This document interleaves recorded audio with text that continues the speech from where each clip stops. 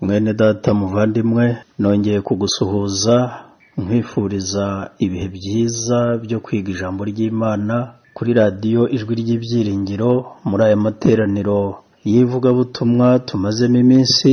Ndagushimira yuko wagize ubutwari utanga igihe utanga umwanya kugira ngo ugire icyo wunguka mu by'umwuka imana iguha umugisha. Rero nongeye kuguha ikaze kugira ngo n'ubu nabwo dufatanye kwiga icyigisho cy'ingenzi cyiza cyuzuriza ibindi tumaze kwiga ndetse kizagufasha mu rugendo rwawe rwo kwizera.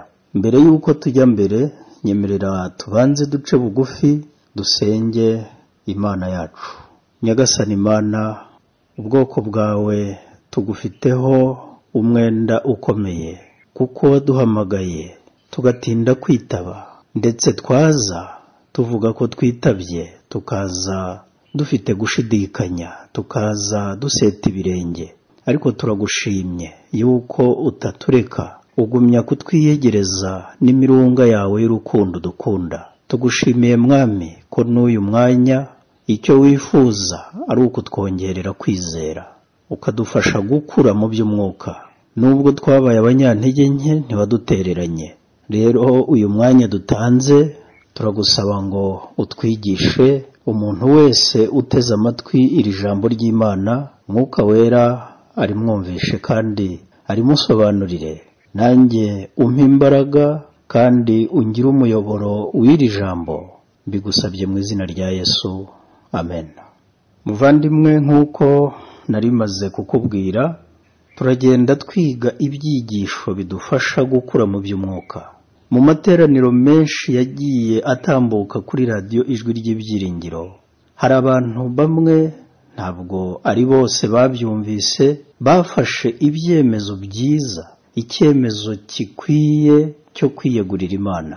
Nubwo batarabatizwa mu mazi ariko bafite amahirwe yo gukomeza kubatizwa na mwuka wera ndetse n'umuriro nk'uko twabibonye.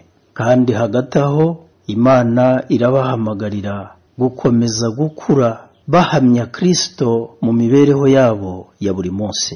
Muri uko guhamya kirisito hari byinshi duhamagarirwa kurushaho kuzirikana.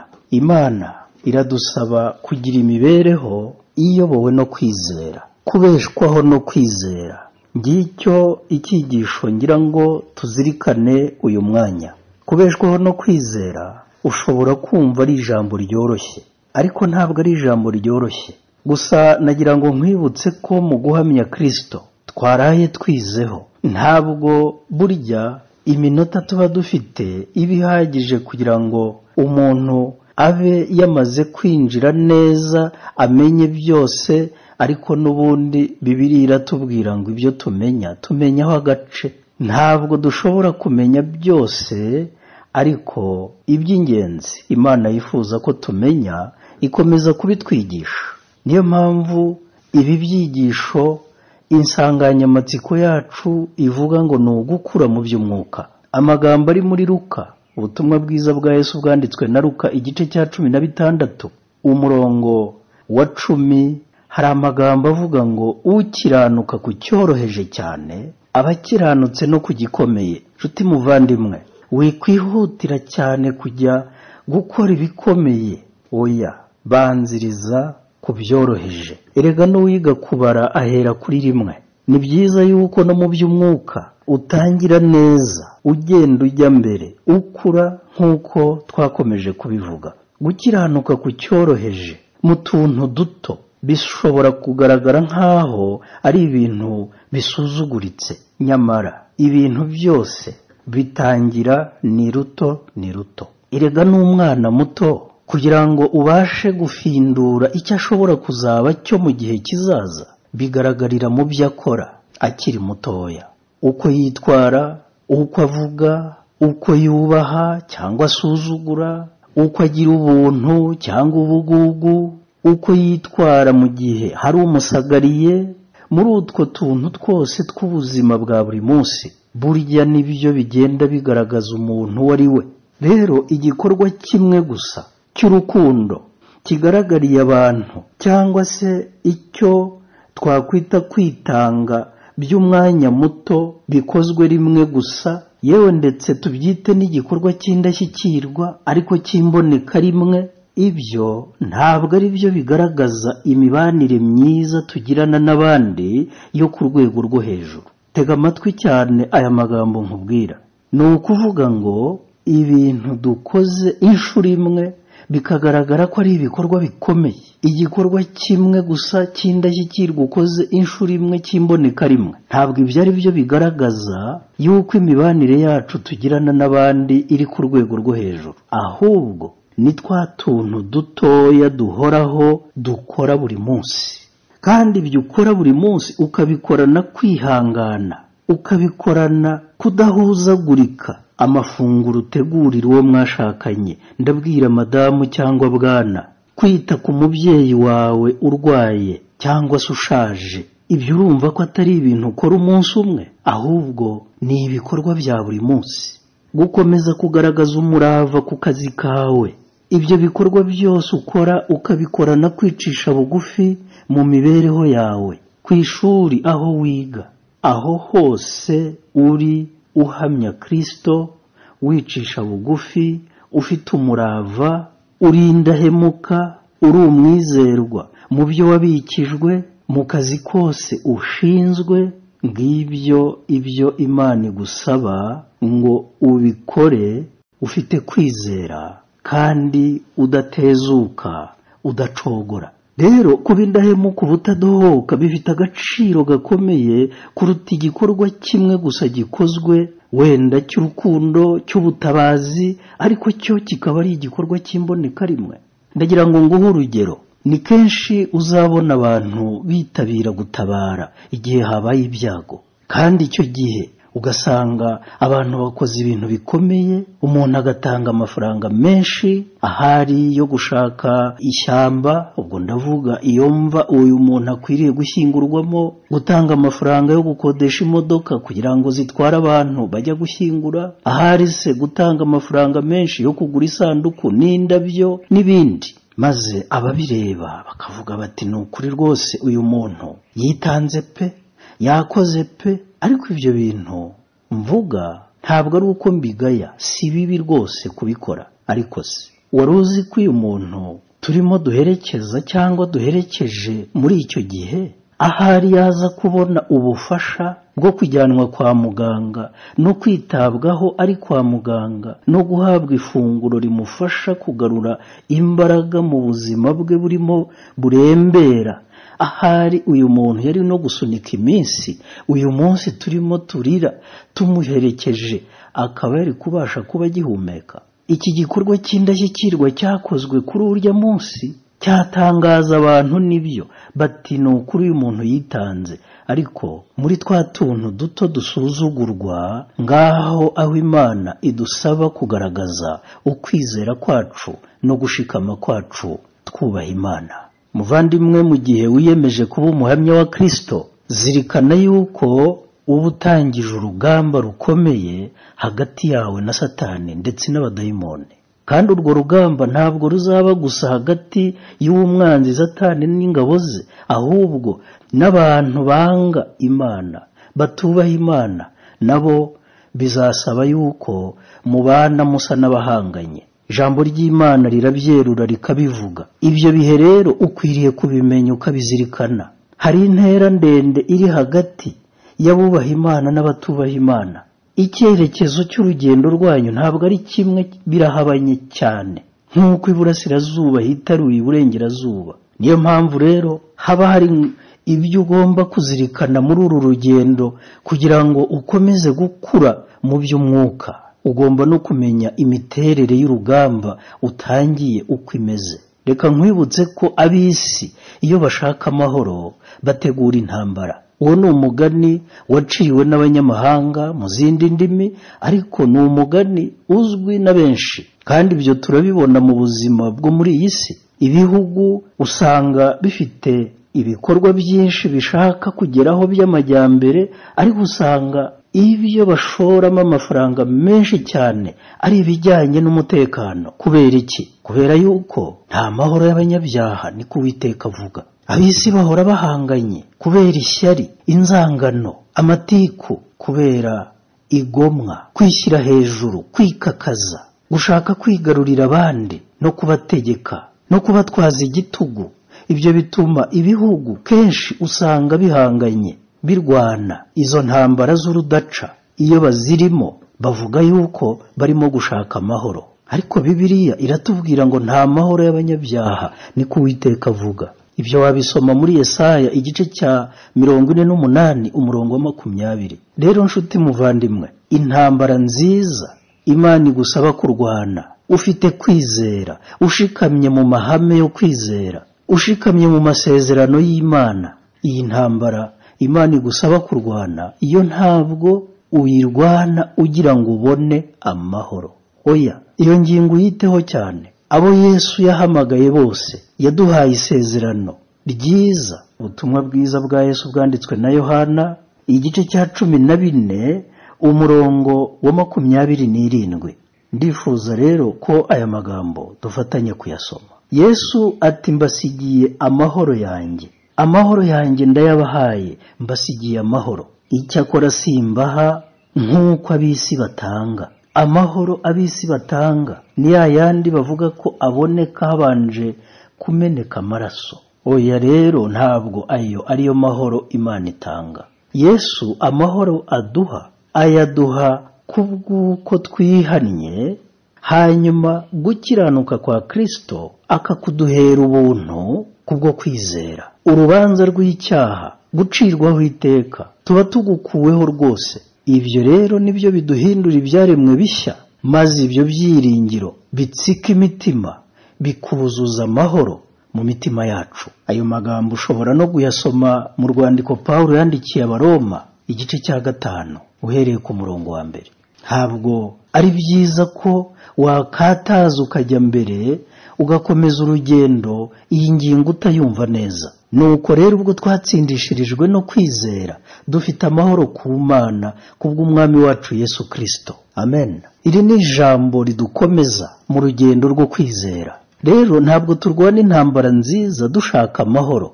Oya ahubwo kuko dufite amahoro turwana intambara nziza yo kwizera kugira ngo ayo mahoro hatagira uyatwambura. Ariko hamwe n'ibyo bibiri duhishurira yuko iyo twiyemeje kujya muri urwo rugamba rwo kurwana na satani icyo gihe tuba tugomba kwitega ibindi. Ni ibiki? Reka tubisome mu rwandiko paul yandikiye abafilipi igice ni icya mbere. Ndifuza yuko ayo magambo uyazirikana. Urwandiko paul yandikiye abafilipi igice cya mbere turahera ku murongo wa makumyabiri n'irindwi tugeze ku murongo wa makumyabiri n'icyenda. Icyakora ingeso zanyu reka mbivane muri benshi ahubwo nkubwire wowe uteze amatwi radiyo ijwi ry'ibyiringiro. Icyakora ingeso zawe zimere nk'uko bikwiriye ubutumwa bwiza bwa kirisito paul ati ninza kugusura cyangwa nintaza nzumva ibyawe. Yuko ugishikamye mu mwuka umwe uhuje umutima na bene so urwanira hamwe kubwo kwizera ubutumwa bwiza udakangwa n'ababisha ku buryo bwose. Kandi ubwo butwari bwo kudatinya kwawe kuri ba bandi banga ijambo ry'imana banga umusaraba wa kirisito ni ikimenyetso cyo kurimbuka kwabo. Naho kuri wowe ni ikimenyetso cy'agakiza kawe kava ku mana. Hareruya ariko zirikana umurongo wa makumyabiri n'icyenda ndifuza ko ibyanditsemo ubishyira ku mutima wawe. Kuko utahawe kwizera kirisito gusa ahubwo wahawe no kubabazwa kubwe. Iri ni ijambo rikomeye umukristo wese utangiye urugendo agomba guhora azirikana yuko adahawe gusa kwizera ahubwo ahawe no guhura n'urugamba rukaze n'ibishobora kuzakubabaza. Tumaze ibihe byinshi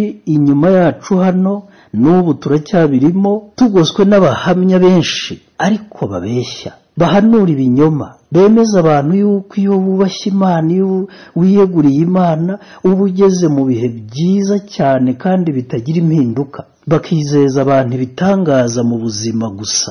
Bemeza abantu yuko ubukene buragiye kubw'uko wamenye yesu. Ubugumba ntibuzongera kugaragara mu mibereho y'abantu bemera yesu. Intambara uburwayi. Ibyo byose ukemezwa yuko nta na kimwe kizegera ihema ryawe kuko wamenye imana. Ariko ibyo ni ikinyoma. Ni ikinyoma muvandimwe. Kuko na pawulo uyu nguyu imana yakoresheje imirimo ikomeye mu ivugabutumwa. Iyo dusomye mu rwandiko yandikiye abakorinto rwa kabiri igice cya cumi na bibiri dutangazwa no kubona isengesho yasenze asaba imana kugira ngo imukize igishakwe yari afite mu mubiri we. Uburwayi bwamubabazaga kandi ari mu murimo w'imana. Ariko muri icyo gihe cyose yasenze asaba yinginga. Dore icyo yanditse ku murongo wa karindwi. Kugeza uwa cyenda. Ndavuga pawulo mu rwandiko rwa kabiri yandikiye abakorino igice cya cumi na bibiri ku murongo wa karindwi yaravuze ati kandi kugira ngo ne guterwa kwishyira hejuru kurenza ibikwiriye nuko nahishuriwe ibikomeye cyane ni cyo cyatumye mpabwa igishakwe cyo mu mubiri ari cyo ntumwa ya satani yo kunkubita ibipfunsi ngo ne kwishyira hejuru kurenza ibikwiriye. Kuri icyo kintu ninginze umwami wacu gatatu ngo kimvemo ariko arampakanira ati ubuntu bwanjye buraguhagije kuko aho intege nke zawe ziri ariho imbaraga zanjye zuzura. Nuko ndanezererwa cyane. Kwirata intege nke zanjye ngo imbaraga za kirisito zinzeho. Nicyo gituma ku bwa kirisito nzishimira intege nke zanjye no guhemurwa nzishimira n'imibabaro no kurenganywa n'ibyago kuko iyo mbaye umunyantege nke ariho ndushaho kugira imbaraga. Aya magambo yanditse muri bibiliya yahumetswe n'imana kandi yanditswe kugira ngo n'abazakurikiraho bose abakunzi b'umusaraba wa kirisito abahanganye na satani muri uru rugendo rwo kwizera. Babeshweho n'iyi egisperiyanse y'abandi batubanjirije. Ubu bunararibonye mu by'umwuka twumva abakurambere bacu mu kwizera. Budutere natwe gushikama mu rugendo. Uramenye rero wowe kubakira kwizera kwawe ku bitangaza. Ibihe byose ntabwo imana yagiye ikora ibitangaza ku bw'ubwoko bwayo. Nibyo koko imana ya daniyeli turayikunda cyane. Imana ya saduraka na meshaki na bedunego turayikunda cyane. Ariko impamvu idutera kuyikunda ni uko yabakuye mu itanura ry'umuriro bavamo ari bazima. Turayikunda kuko yakuye daniyeli mu rwobo rw'intare avamo ari muzima. Ariko se tuvuge ko yohana umubatiza waciwe igihanga ari muri gereza? Imana itamukundaga.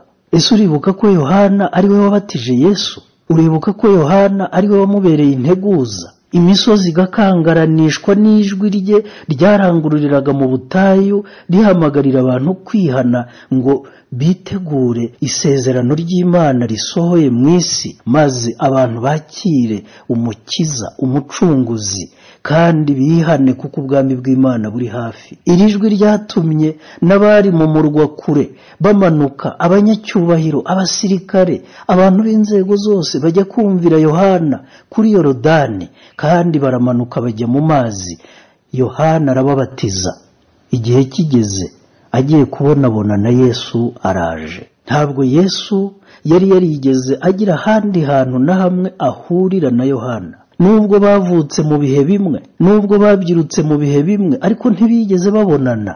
Maze mwuka wera ahishurira yohana ko uwo muntu areba imbere ye ari kirisito ni bwo yohana yahamije iby'uwo mukiranutsi ati uyu ni we ntama w'imana ukuraho icyaha cy'abari mu isi yanga kubatiza yesu. Avuga ati weya ntibinkwiriye ko napfundura n'udushumi two ku nkweto ze. Ariko nkundira nkubwire sinshaka kurondora ibyabaye uwo munsi ahubwo ndashaka kubwira ngo yohana uyu nguyu kubwo guhamya kirisito kubwo guhamya ukuri abwiriza ijambo ry'imana. Yabwiye umwami amubwira ati ukwiye kwihana kuko wacyuye umugore utari uwawe. Ukamugira umugore wawe ukiba ikiryamo cy'umuntu imana yari yarubakiye urugo none wamwibye ikiryamo utwara umugore we. Byatumye umwami afunga uyu muntu w'imana yohana kuko yamubwiye iby'icyaha cye aho kugira ngo akihane. Igihe umwami yari yaremesheje ibirori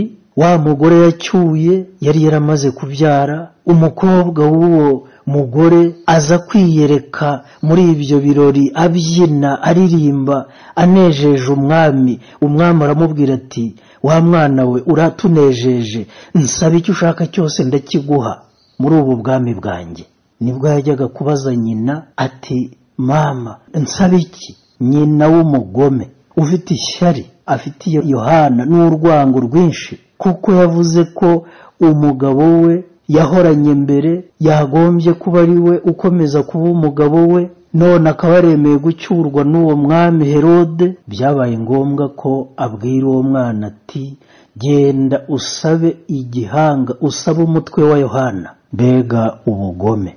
Ariko icyo nshaka kuvuga ni uko yesu ibi byose biba yari ari ku isi ntabwo yari mu ijuru. None muvandimwe tekereza ko yohana ubuzima yabayemo muri iyo gereza ategereje gupfa. Hari aho yageze aribaza ariko se yesu wa wundi nahamije wa wundi nabatije abaye ari we koko? Ubu ntabwo yagira icyo akora ngo nkure muri iyi nzu y'imbohe. Habe no kungemurira teremosi irimo igikoma azanye n'umugati kunsura muri gereza. Bitekerezeho nshuti yanjye. Reka kwizezwa ibitangaza muri uru rugendo. Hari aho bigera. Imana ikemera kubabazwa uzira kwizera. Igihe cyarageze yohana yohereza babiri mu bigishwa be burya nawe yari afite abigishwa timugende mumbarize yesu niba ari we koko cyangwa dukwiriye gutegereza undi. Yesu arababwira ati mugumaha gatoya ndababwira babanza kubona imirimo yesu akora. Bigeze ku mugoroba arababwira ati mugende mubwire yohana ibyo mwabonye n'ibyo mwumvise. Mumubwire muti ibirema biragenda ibiragi biravuga impumyi zirahumuka kandi abakene barabwirwa ubutumwa bwiza. Muvandimwe igihe yohana yamaraga kumva ubutumwa izi ntumwa yatumye zizanye yaratuje. Aranezerwa abona yuko atahamije ibinyoma ahubwo ko yahamije ari kirisito ahasigaye aratuza ategereza iherezo. Igihe yabonaga inkota ije ntabwo yihakanye kirisito ntabwo yihakanye ibyizerwa yateze umutwe barawuca. None ikibazo ese abakwizeza yuko nta kibazo uzahura na cyo? Nta bukene nta burwayi nta ngorane. Ibyo babivana he? Icyakora kubw'ubuntu bw'imana idukiza muri byinshi. Idukiza mu makuba idukiza mu byago idukiza mu ntambara idukiza mu nzara. Idukiza mu buryo bwose ariko hari igihe biba ngombwa ikabyemera tukababara ndetse kugeza ku gupfa. Ijambo ry'imana rero riratubwira ngo umukiranutsi wanjye azabeshwaho no kwizera. Bisome mu rwandiko rwandikiwe abaheburayo. Reka turusome mu gice cya cumi umurongo wa mirongo itatu n'irindwi ndetse turasoma n'umurongo wa mirongo itatu n'umunani. Haracyasigaye igihe kigufi cyane kandi uzaza ntazatinda. Ariko umukiranutsi wanjye azabeshwaho no kwizera. Nyamara nasubira inyuma umutima wanjye ntuzamwishimira. Muvandimwe imibabaro ishobora kutugeraho kandi twizera imana. Paul yandikira timoteyo mu rwandiko rwa kabiri igice cya gatatu umurongo wa cumi n'ibiri. Yaramubwiye ati icyo akora abashaka kujya bubaha imana bose bari muri kirisito yesu bazarenganywa akarengane kabayeho kuva kera. Uhereye kuri aberi uwishwe na mukuru we kayini amuziza ko yubashye imana. Nta kindi bapfaga. Uyu ni we wabaye umumaritiri wa mbere wazize gukiranuka wazize kwizera. Igitambo cya kirisito kandi ntabwo imana yamutabaye icyo gihe ngo ivuge ngo ya uyu nguyu ntapfe. Oya yarabyemeye aberi arapfa. Ngo n'abandi bazakurikiraho bose bamenye ko hari ikibazo cy'intambara iri hagati y'icyiza n'ikibi hagati ya kirisito na satani. Kubeshwaho no kwizera ni ihame rigomba gusobanuka mu bugingo bw'umukristo wese ushaka gukura mu by'umwuka. Kwizera rero mvuga niko kwatumye abo bakurambere bacu bose batubanjirije bashikama abaheburayo igice cya cumi na kimwe. Ndifuza ko naho uharambura ukazirikana amagambo ahari. Ibyivugo bihari ibigwi bihavugwa byose byubakiye ku ijambo rimwe kwizera. Kwizera niko kwatumye aberi ndavuga ku murongo wa kane aho imana igitambo kiruta icya kayini kuba cyiza. Kandi niko kwatumye n'uyu munsi agihamywa ko ari umukiranutsi ubwo imana yahamyaga ko amaturo ye ari meza. Yarapfuye ni byo kandi yapfuye urupfu rubi yishwe na mukuru we imana irabyemera. Kwizera niko kwatumye enoki agendana n'imana imyaka magana atatu. Ese utekereza yuko muri iyo myaka nta rugamba yari afite nta ntambara yarwanaga na zo? Ese wari uzi ko enoki yabayeho mu minsi yari yegereye cyane irimbuka ry'isi? Imana iyirimbuje umwuzure? Ngaho tekereza ibihe enoki yabayemo uko byari bimeze? Byari bibi cyane. Kandi kwizera niko kwatumye nowa yemera kubaka inkuge akizera ibyo imana imubwiye atabanje kubirebesha amaso. Nawe yari atarabona imvura yari atarabona ibicu bya rukokoma byirabura yari atarumva urusaku rw'inkuba ariko yizera ko ibyo imana ivuze ari ukuri. Niba hari umugabo wahuye n'urugamba n'intambara zikomeye ni nowa mu gihe yabazaga iyi nkuge abwiriza abagome abwiriza abantu buzuye gukiranirwa badashaka kumva imiburo y'imana badashaka kwihana bamukwena. Bati umusaza yarasaze imvura wayibonye he? Kandi koko ibyo bavugaga ni ukuri ntabwo imvura yari yarigeze igwa kuri iyi si. Ariko nowa afite kwizera arashikama akora ibyo imana imubwiye. Kubeshwaho no kwizera. Mu tuntu duto kugira ngo ubashe no gukomera mu bihe bikomeye muri bya bindi binini. Kwizera niko kwatumye aburahamu yumvira imana. Ngeze ku murongo wa munani iramuhamagara ngo ajye mu gihugu imana izamwereka. Ndamureba ari umusaza ashoreye abagaragu be n'amatungo ye n'umugore we. Abantu bose bo mu birorero by'iwabo bamubaza aburahamu ugiye he? Ntabwo byari bimworoheye gusobanura aho yari agiye. Bigaragara yuko kwizera hari aho bigaragara nk'aho ari ibisazi. Byagaragaraga nk'aho ari ukwigerezaho ari ugukora ibidashoboka. Ariko yarahagurutse aragenda. Kandi igihugu imana yamusezeranije yarakimuhaye. Imana ishimwe cyane. Kwizera rero niko kubeshaho umukiranutsi. Ashingiye gusa ku byo imana yavuze. Kandi uku kwizera niko kwatumye mose ku murongo wa makumyabiri na kane w'icyo gice cya cumi na kimwe cy'abaheburayo. Niko kwatumye mose ubwo yari amaze gukura yanga kwitwa umuhungu w'umukobwa wa farawo ahubwo agahitamo kurenganyanwa n'ubwoko bw'imana. Abirutisha kumara umwanya yishimira ibinezeza by'ibyaha. Kwizera kwatumye atekereza ageza kure. Abona ko gutukwa bamuhora kirisito ari ubutunzi buruta ubw'abanyegiputa babitse bwose. Kuko yatumbiraga ingororano azagororerwa. Tugarutse inyuma gato ku murongo wa cumi n'itatu. Haravuga ngo abo bose abo bose twumva b'intwari bagize ubutwari mu kwizera bagashikama mu mibabaro bagashikama mu midugararo no mu rugamba rukaze. Abo bose bapfuye bakizera. Batarahabwa ibyasezeranijwe ahubwo babiroraga biri kure cyane